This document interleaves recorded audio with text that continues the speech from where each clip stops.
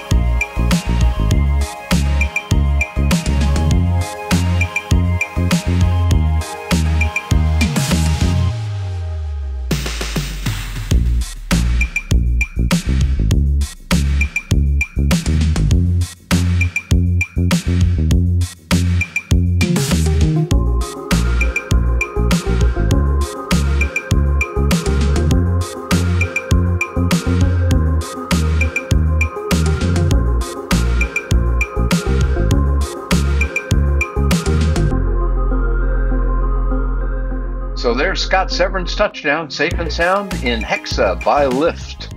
Stay tuned for more.